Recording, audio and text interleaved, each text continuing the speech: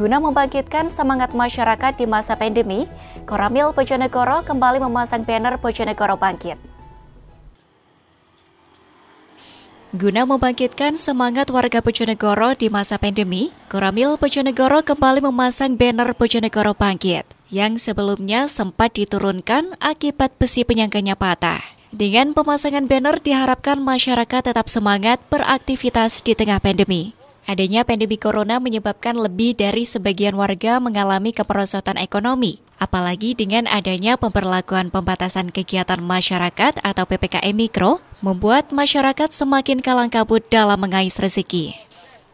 Namun harus diakui, adanya program PPKM tersebut merupakan kebijakan pemerintah dalam menghentikan kondisi pandemi yang masih saja menghantui bangsa. Sehingga dengan kesadaran penuh, masyarakat harus mematuhi aturan tersebut. Agar masyarakat tetap semangat, inisiatif Koramil 14 Tambak Rejo kembali memasang banner berukuran 3 x 4 di depan Koramil 14 Tambak Rejo.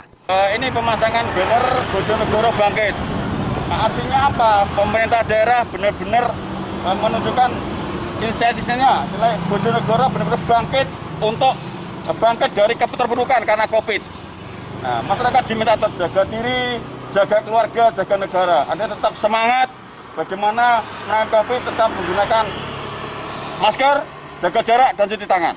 Pesan terhadap masyarakat apa dan? E, pesannya adalah masyarakat tetap e, proaktif, menggunakan masker, jaga jarak, dan cuci tangan, sehingga semua bisa berjalan dengan baik, e, terhindar dari COVID, ekonomi bisa tumbuh kembali. Diharapkan dengan pemasangan banner tersebut, masyarakat bisa beranjak dari keterpurukan akibat adanya pandemi COVID-19. Tim Liputan Batik TV melaporkan.